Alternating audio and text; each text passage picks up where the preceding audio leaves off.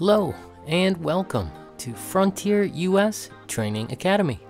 Today we're going to show you how to manually apply a license key.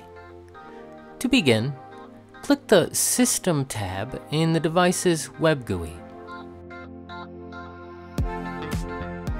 Next, click Feature Add-ons.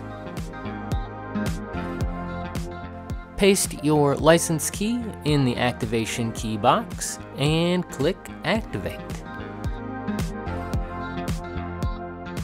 Not all licenses require a reboot to be fully functional, but this one does. So we click Reboot here. And then we click Reboot here. And finally, we click OK. The reboot process takes a few minutes, so don't worry if it doesn't happen right away. Now, let's quickly discuss a fairly common issue users have when trying to activate a license key.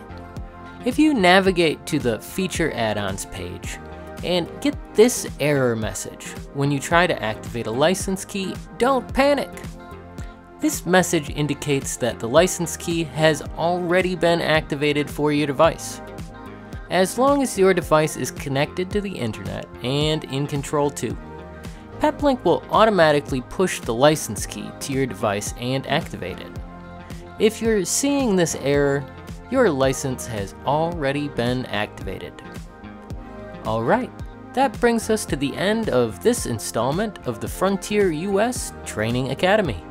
If you found this video useful, don't forget to like, subscribe, and hit that notification bell. Thanks for tuning in and see you next time.